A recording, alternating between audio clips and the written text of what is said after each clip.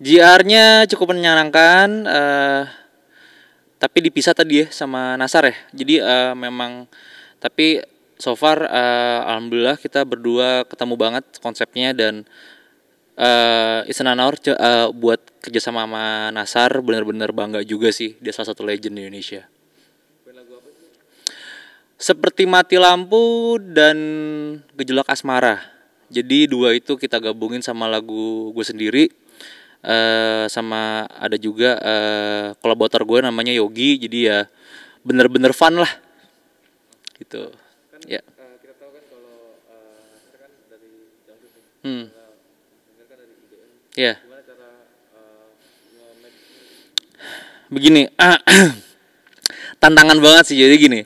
Uh, jadi kan memang tahun ini tuh uh, kebanyakan malah hampir semua ya semua produksi gue itu berhubungan dengan dangdut dan seperti menyatukan hal yang orang-orang pikir uh, mungkin kayak tadi lu bilang sendiri uh, itu agak nggak mungkin sebenarnya itu sangat mungkin dan gue sangat bangga bisa bisa tahun ini tuh bisa lebih produktif di dan khususnya di di cakupan baru yaitu IDM dan dangdut gitu. Jadinya memang sebenarnya uh, kalau dilihat dari history pun sebenarnya ya kayak ke, apa ketipang terus uh, unsur-unsur gamelan yang lain tuh juga kan di dangdut juga ya dan sering juga gue pakai jadi ya sangat-sangat bangga juga bisa menyatukan dua unsur uh, dan kayak hal yang baru sih buat gue gitu. Sebelumnya udah uh, dengan genre dangdut.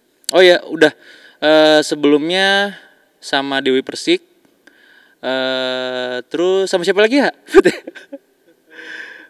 Siti Badriah uh, ya sih terakhir sama yang sekarang sama Nasar. Dan uh, udah udah dapat pakemnya sih udah dapat maksudnya udah dapat ancang-ancangnya dan uh, maksudnya arahnya ke mana sebelum ngerjain ini gue udah tahu begitu. Uh, ya